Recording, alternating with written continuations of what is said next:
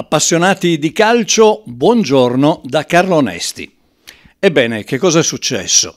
È successo che intanto il guardiolismo non è più un'espressione univoca, cioè non si intende più un solo modo di giocare a calcio. Il Guardiola del Barcellona predicava il tiki-taka ad oltranza, poi negli anni si è evoluto con l'esperienza che ha avuto in altre squadre ed ora non disdegna un possesso palla con eh, veloci verticalizzazioni come ha dimostrato il Manchester City.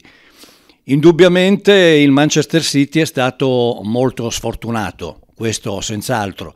Credo che la svolta della partita, e lì c'è di mezzo veramente il destino, è quella respinta di Mendy su un gol praticamente fatto che avrebbe consegnato alla finale il Manchester City.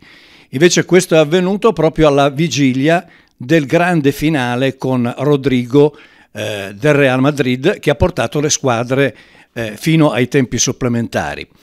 Sconfitta, sì, sconfitta naturalmente limitata a questa partita, a questa stagione, di fronte a una formazione che oltre ai valori tecnici ha affermato l'importanza assolutamente eh, fondamentale nella Champions League del determinazione, del crederci fino in fondo, perché la Champions League è la manifestazione nella quale vinci e perdi in un attimo, nel senso che può cambiare tutto davvero da un secondo all'altro.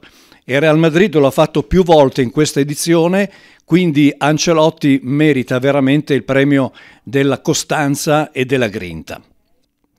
Beh, eh, in Italia c'era un grande tecnico al quale da calciatore dobbiamo un'Olimpiade, quella del 1936, e cioè Annibale Frossi, che diceva che la partita perfetta era quella che finiva 0-0 perché nessuno aveva commesso degli errori, in particolare non avevano mai sbagliato le difese contro i rispettivi attacchi.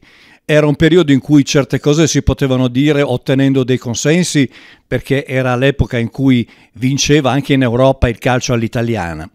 Io sinceramente, pur essendo eh, fondamentalmente un tradizionalista, o meglio, portato a pensare che ad arrivare alla vittoria eh, si possa attraverso strade diverse e non per forza attraverso una strada, dico che mi auguro di vedere tante partite come questa, come quella fra Real Madrid e Manchester City, sia all'andata che al ritorno, perché abbiamo visto magari la casualità di qualche errore, ma soprattutto le grandi giocate di grandi giocatori e di grandi squadre.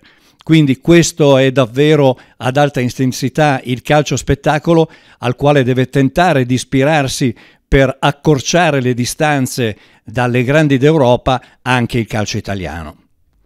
Il calo di Vlaovic, io non vorrei essere salomonico o troppo diplomatico, è attribuibile a fattori che riguardano sia il giocatore che la squadra.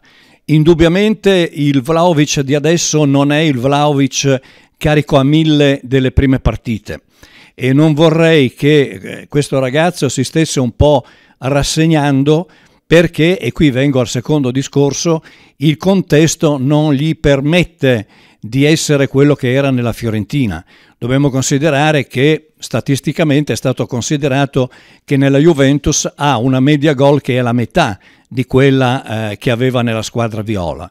Eh, l'altro aspetto comunque continua a riguardare la squadra.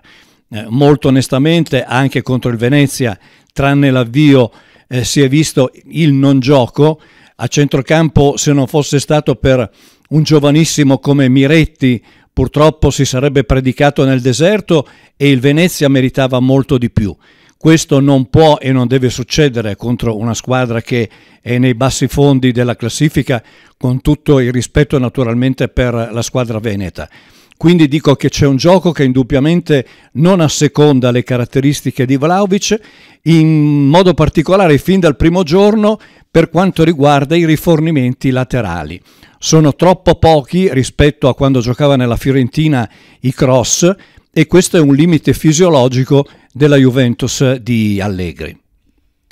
A Dybala è stato chiesto un uh, autografo e Dybala eh, prima di entrare alla Continassa per allenarsi, credo prima e non dopo, ma cambia veramente poco, ha risposto con un sorriso, con un dolce sorriso.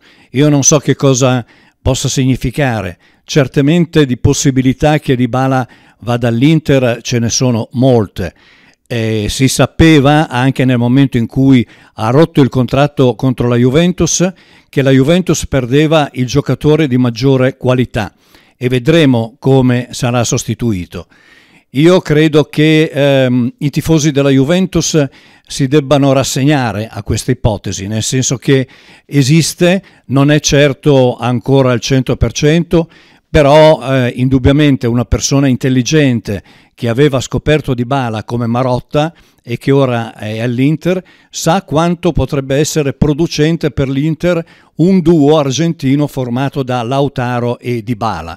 Due giocatori dotati tutti e due di grande forza esplosiva, di grande elasticità nelle gambe, di grande corsa, con un Dybala io glielo auguro per il resto della carriera che faccia quello che ha fatto poche volte nella Juventus, e cioè giochi più vicino alla porta avversaria perché in questo modo può essere anche un grande bomber.